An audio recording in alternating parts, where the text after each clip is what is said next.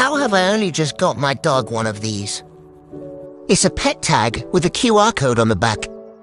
When you scan the tag, it brings up my dog's profile, which has everything she would need to get home safely if she got lost.